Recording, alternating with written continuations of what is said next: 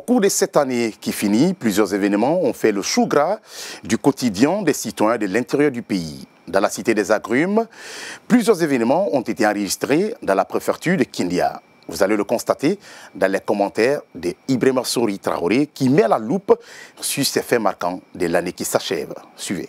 Samedi 4 février 2023, le président de la transition a donné le coup d'envoi de la campagne d'assainissement de la ville de Mangakindi. Cette cérémonie s'est déroulée en présence de plusieurs ministres. Colonel Mamadi Doumbouya a fait le tour du grand marché. Il a été copieusement applaudi et ovationné par ses concitoyens.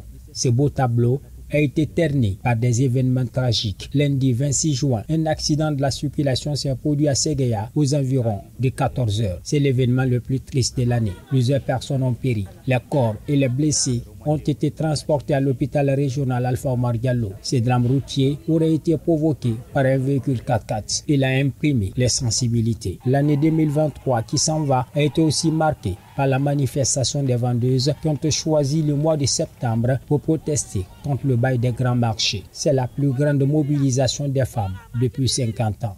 Portant des t-shirts et foulards rouges, les manifestantes ont scandé des slogans oscillomères.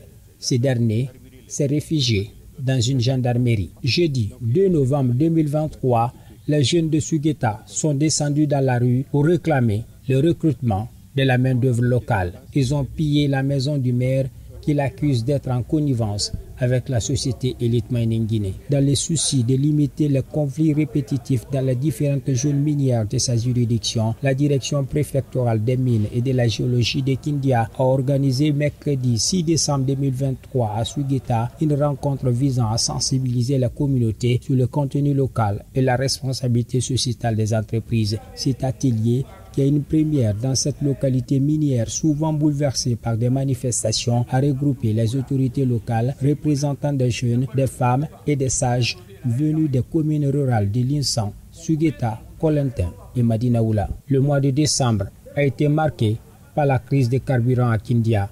Le marché noir a revu à la hausse le prix des litres de l'essence. Les revendeurs font la pluie et le beau temps. Les litres de l'or noir se négocient à 25 000 francs guinéens, voire plus. Le prix du transport a grimpé. Cette situation intervient quelques heures après la fermeture des stations-service suite à l'incendie du dépôt des hydrocarbures de Kaloum. L'année 2023 a été marquée par des événements heureux ou malheureux, de bonheur et de douleur. Et puis,